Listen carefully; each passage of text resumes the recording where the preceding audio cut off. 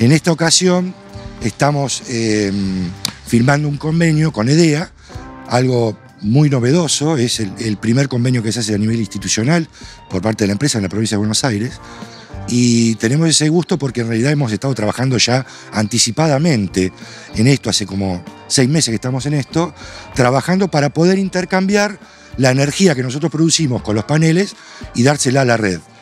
Es un, un convenio de intercambio, digamos,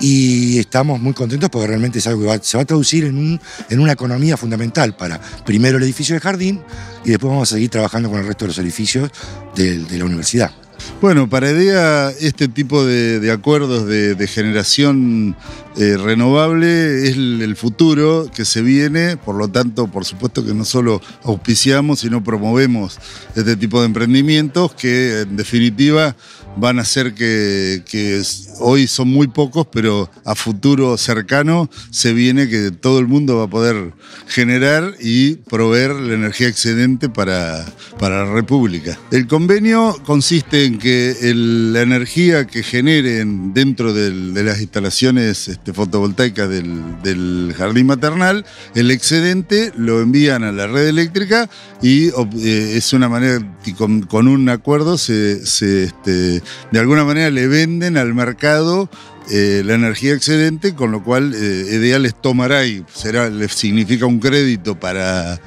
para el jardín este, la energía que tienen en exceso. O sea, no solamente pueden eh, este, suministrarse su propia energía, sino lo que les sobre en los momentos que. y en el momento que como un día de hoy, que está un poco gris, necesitan energía, EDEA les provee. O sea, hay una bidireccionalidad de la energía. Nosotros desde la Secretaría de Bienestar de la Comunidad estamos siguiendo una línea de política tendiente a acreditar como universidad saludable y por supuesto dentro de los, requisitos y, las pautas para poder hacerlo es generar unos espacios que tengan que ver con la sustentabilidad y con ambientes y medio ambiente em, que sea eh,